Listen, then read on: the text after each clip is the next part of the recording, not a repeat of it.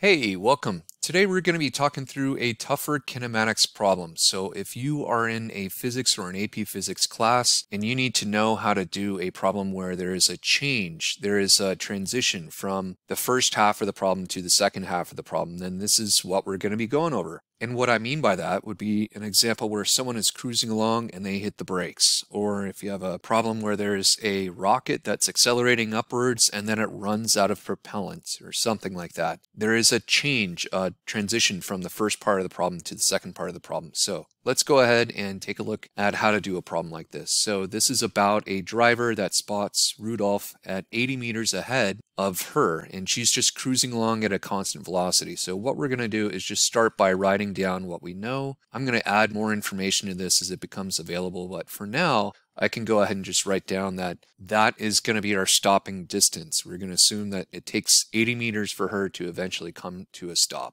And it says she travels for a while, not seeing him, at 20.1 meters per second. All right, well, that is a constant velocity, right? So we could say, let's call that a V average during that time is going to be equal to 20.1 meters per second. She's not speeding up, she's not slowing down, so it's a constant velocity. And while we're at it, I'm going to go ahead and write down the average velocity equation here. So that's going to be delta x over delta t, or sometimes it's just written as t. It's understood that t initial is zero, so Sometimes it's written as V average is equal to delta x over t, like this. All right, so that's another equation that we can work with. And let's continue with the problem. So we want to just read and stop when we get to something that we can write down and translate into physics variables. So it says, she then spots him slamming on her brakes.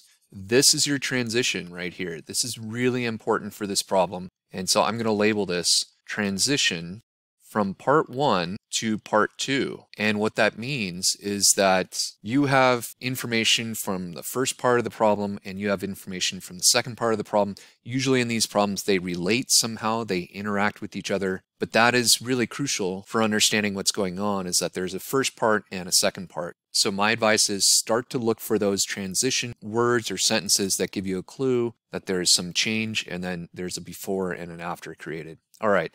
So it says her car can slide to a stop with an acceleration of minus 3.75. That means we're going to have a second part over here. Our acceleration for the second part is equal to minus 3.75 meters per second squared. And when in doubt, look at the units. If you're not quite sure if you're dealing with a speed or a velocity or a time or whatever it is, look at the units. They're there to help you to understand what you're dealing with. Meters per second squared is clearly going to be a set of units that's used to describe acceleration. The question says, how long can she travel or how long can her reaction time be before she ruins Christmas, before she hits Rudolph? So what we're actually asking is what is her time for the first part? That's going to be our unknown. And I need to go back here and label a couple other things. This is our initial average velocity, and this is our total distance that we can talk about as 80. And we're just updating because now we realize that this is a two-part problem. So I'm going to go ahead and say, well, that's delta x1 plus delta x2 over here is equal to our total distance traveled of 80 meters. All right, so if we think about what we know for part one, if we talk about part one, what do we know? Well, we know what our V average is. And we can even think about that equation. Once again, we can write it down, delta x over time or delta time. We don't know what our time is for one or our delta x is for one. So that's an unknown and that's an unknown. We do know this, but because we have two unknowns in this equation at this point, we can't really do much. So let's go ahead and move on to two and think about what we know and what we don't know or what we're ignoring. So we know our acceleration for two is minus 3.75 meters per second squared. And we know our final velocity for two is going to be zero because we're going to assume it comes to a stop now, what I'm going to write down next is actually true for both of these, but not for either one of them individually. So I'm going to say delta x total is equal to delta x1 plus delta x2. So we know this is 80 meters right here, but we don't know what delta x1 is or delta x2 is, so we can't really use that information yet. Let's think about what else we know. What about our v initial for part 2? What is our v initial for part 2? All right, and here is a really key insight for understanding how to do problems like this.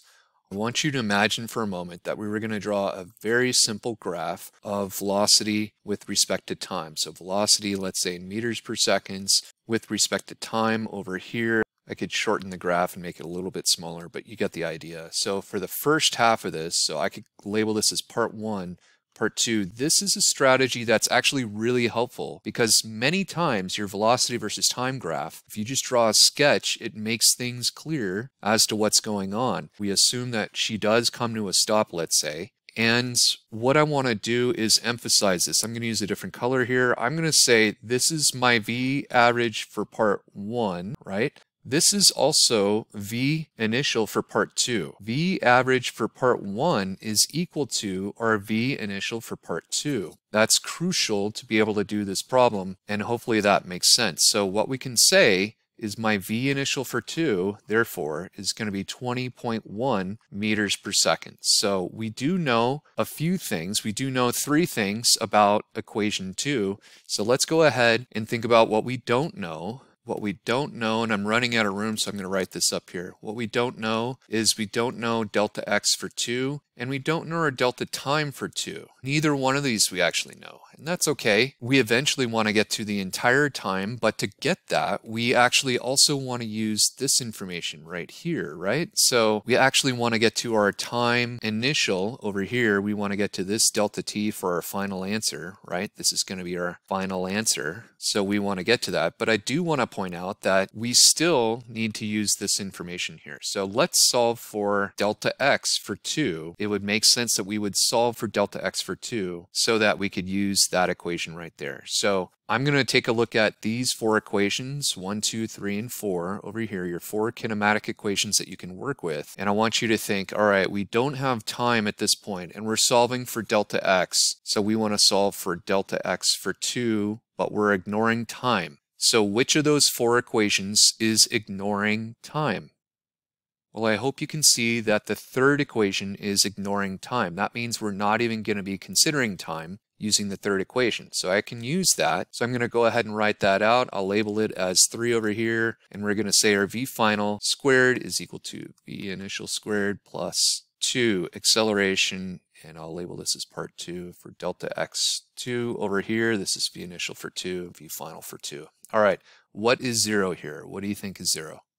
That's an appropriate thing to do for all of these problems is to shorten them, make them easier. Well, this is 0 right here, and we want to solve for delta x for 2. So I'm going to go ahead and subtract my v initial for 2, square that, and divide by 2 times a2 is equal to delta x. I skipped one step there algebraically, but you're probably okay at this stage of the year. So I'm going to go ahead and write in my numbers. Remember, you're going to square this first and then make that negative. So that's going to be a 20.1 meters per second squared and then the negative of that divided by 2 times a negative 3.75 meters per second squared and that's going to be equal to our delta x for 2 and I'm starting to run out of room. So I'm going to write down I've got 53.8 meters. All right, well, great, because we can take that and relate it to that equation that I have boxed over here. And so I'm going to say, well, remember delta x total is equal to delta x for 1 plus delta x for 2. Well, I now know what this is, and I know what this is. I don't know this, so I can go ahead and solve for it. I'm going to say delta x for 1 is going to be equal to 80.0 meters minus 53.8 meters over here. And so I end up with delta x for 1 being equal to 26.2 meters. All right, very good.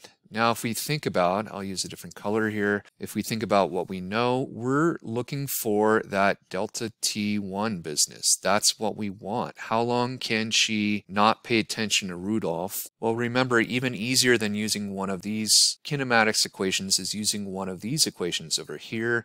And we know how fast she's traveling. We now know what our distance is. We don't know our time, so we're going to solve for time. To do that, bring your time up here, multiply by delta t multiply by delta t over here. This cancels, you're left with time times v average is equal to delta x. So our time is equal to delta x divided by v average And I'm going to drag this down a little bit. Our time for one, this is all for one, is the time that she can take to not pay attention before she has to react. And that is going to be 26.2 meters divided by 20.1 meters per second is equal to 1.30 seconds. So that is actually how long she can wait before she has to hit the brakes to be able to slam on the brakes and not ruin Christmas. So I hope this makes sense and I hope this helps you to understand how to do it. I will say this is a little different style screencast than I've done in the past where I am actually just writing this out. And so hopefully you can read my writing and understand what I'm saying. This is exactly how I would solve a problem and how I ask my students to solve a problem. I'm just trying to help you with one of the more difficult types of problems that you can see in a kinematics unit. So if you have any comments down below, let me know and I hope you all have a great day. Take care.